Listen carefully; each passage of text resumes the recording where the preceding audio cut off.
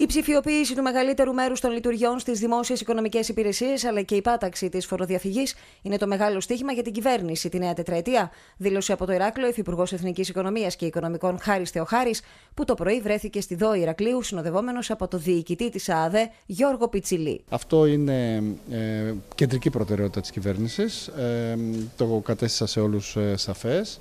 Ε, είχαμε τη χαρά να είμαστε μαζί και με τον διοικητή, τον κύριο Πιτσιλή και βλέπουμε ότι ε, αποδίδουν σιγά σιγά καρπούς αυτά που έχουν γίνει τα προηγούμενα χρόνια. Έχουν γίνει πάρα πολλά, αλλά είναι πολύ περισσότερα αυτά από τα οποία έχουμε να κάνουμε το επόμενο διάστημα. Ο κ. Θεοχάρης, που εξέφρασε την ικανοποίησή του για την εικόνα στην εφορία, στην οποία έχουν μειωθεί, όπως είπε, οι ουρές και η εξυπηρέτηση, όπως τόνισε των πολιτών, γίνεται ευκολότερα και αμεσότερα, ξεκαθάρισε ότι δεν θα υποχωρήσουν σε οποιαδήποτε απόφαση λάβουν για να πατάξουν τη φοροδιαφυγή, σημειώνοντας ωστόσο ότι έχουν γίνει βήματα μεν, ωστόσο απαιτούνται κι άλλα. Κατέστησα σαφές ότι είναι αταλάντευτη ε, απόφαση της κυβέρνησης τα ζητήματα της φοροδιαφυγής να πάρουν ε, την πρώτη θέση στις προτεραιότητές της και να ε, μην κάνουμε πίσω. Το λέει πολλές φορές ο Υπουργός, ο κ. Χατζηδάκης, ένας άνθρωπος που έχει έλκει την καταγωγή του και από την Κρήτη, ότι το αυτοκίνητο της κυβέρνησης που θα αντιμετωπίσει τη φοροδιαφυγή δεν έχει όψη.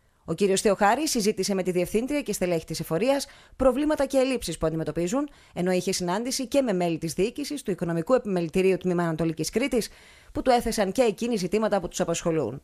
Ο ίδιος, ωστόσο, φάνηκε απόλυτος στο ότι πλέον τα μέτρα που θα ληφθούν θα είναι προς όφελος των ομοταγών πολιτών που πληρώνουν κανονικά και που δεν φοροδιαφεύγουν. Δεν πρέπει να αυτομαστιγωνόμαστε. Ε, η χώρα μας έχει κάνει ε, μεγάλα βήματα τα προηγούμενα χρόνια. Έχει ε, ακόμα όμως είμαστε κάτω από το μέσο όρο. Αυτό είναι επίσης αλήθεια.